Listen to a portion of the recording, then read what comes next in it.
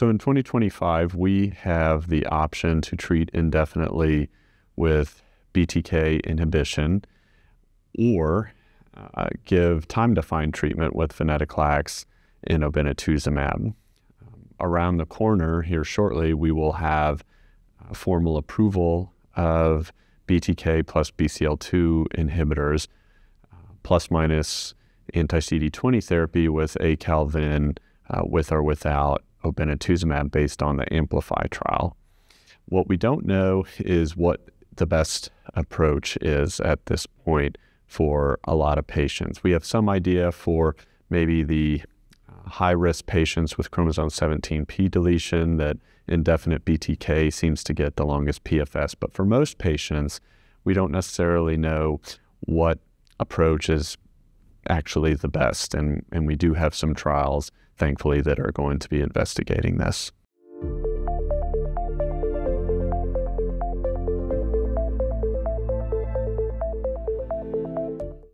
I think one of the promising elements of time defined treatment when we give BTK plus BCL2 together in a time defined way as opposed to indefinite BTK is, is there's data that shows when these patients do ultimately progress while on treatment holiday, they are not having BTK resistant mutations appear and they respond to retreatment. So, one of the ways to combat uh, resistant mutations seems to be to prevent them from occurring in the first place by doing time defined treatment. For later lines of therapy, though, you know, for those patients that ultimately do progress on BTK inhibitors and have resistant mutations, we of course have uh, an FDA approved non covalent BTK inhibitor, pirtobrutinib, but uh, we are seeing patients that uh, have resistant mutations that lead them to either be refractory to pirtobrutinib or they ultimately progress on pirtobrutinib with new BTK mutations. And for those patients, we do need uh, other ways to go after uh, BTK. And uh, we do have BTK degraders that have um, reported some data already that are promising, and patients have responses that have progressed on both covalent and non covalent BTK.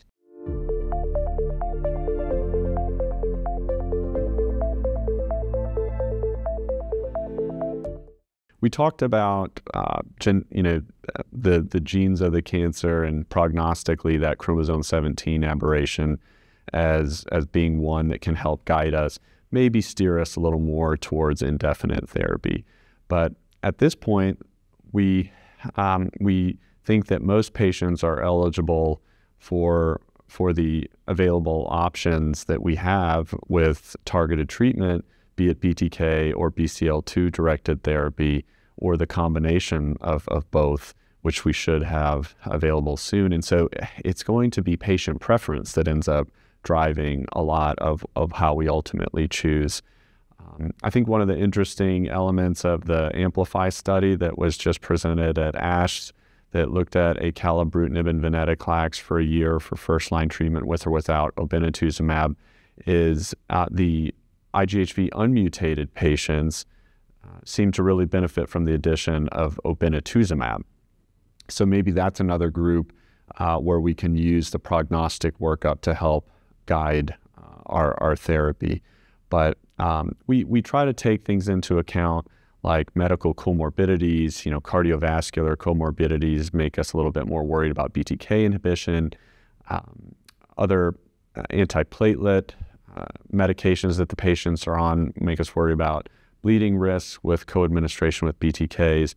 You know, renal dysfunction makes us a little uh, nervous about uh, venetoclax and the, and the tumor lysis risk and, and relying on on our clearance of, of the um, you know the, the the tumor byproducts and and and being able to avoid TLS. So the renal dysfunction is one way that that might steer us back the other direction towards BTK. So um, sometimes we have things that help guide us, but I find more often than not in the clinic, it's presenting the options to the patient and listening to what the patient tells me in terms of, of what their preference is.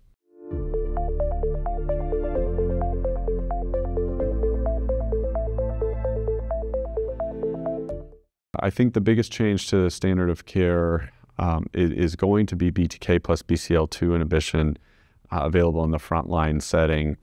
And, and I mentioned ACAL and venetoclax should be FDA approved just around the corner. It's already made it into to guidelines.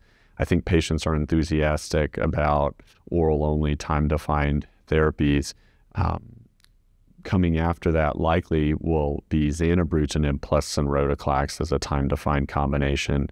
Uh, and then advances made for the double refractory patient population, I think, are going to be key advances for those uh, few patients that get past our, our great first and second line options and need something beyond that. We've talked about BTK degraders, uh, which should um, become available in a within a few years. We already have CAR T cell therapy.